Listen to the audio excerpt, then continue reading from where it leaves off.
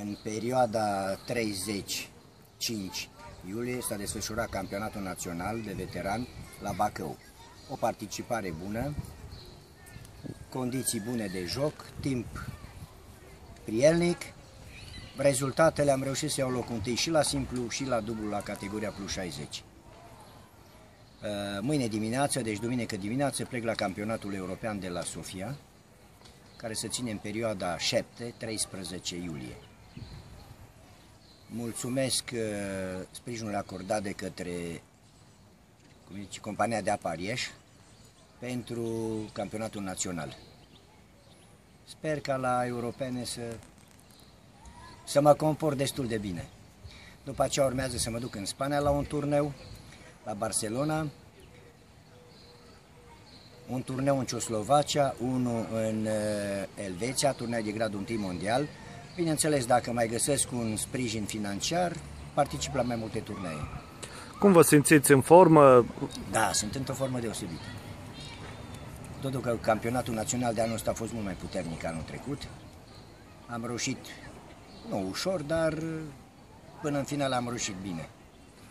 Ce grad a avut uh, turneul de Gradul la 3 mondial. condiții de joc? Condiții de joc bune, mingile mm, destul de bune, dar pe total, pe general a fost bine. Cam câte titluri v-ați propus pentru anul ăsta? Nu știu, Anul trecut ați avut, dacă mă înșel, vreo 11. 12, da. 11 sau 12. Depinde să vedem. Să vedem cum e și cu partea financiară. Să Uh, sperăm că acum au fost numai început primele două turnee din anul ăsta.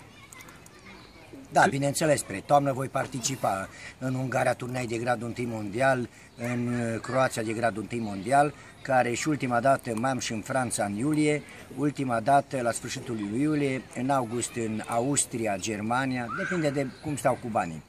Și culminează cu campionatul mondial de la, din Antalya, din Turcia, 19-26 octombrie. În rest, activitatea la baza de sport a dumneavoastră din parc, cum merge în vacanță, copii? Activitatea merge normal, numai pe timpul cât sunt eu pe care turnee nu se desfășoară. În restul vin la tenis, joacă, fac, iar cu copiii, unii pleacă în vacanță, alții care stau, mai vin, mai joacă și când sunt eu acasă, reîncepem de la început. Cum stați cu talentele micuților? Da, am un copil de 15 ani care joacă bine, iar la ăștia mici, viitoare talente care se arată. Că majoritatea sunt tineri, 9 ani, 7, 6. Să sperăm. Să sperăm că găsim urmași. Mulțumesc frumos și succes în continuare! Mulțumesc să fie.